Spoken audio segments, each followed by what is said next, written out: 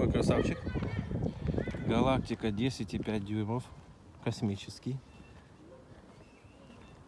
Значит, в такой упаковке. К нему идет пульт. Есть активация балансировки. Зарядная инструкция. Значит, у нас вылет палки регулируется. То есть есть три режима.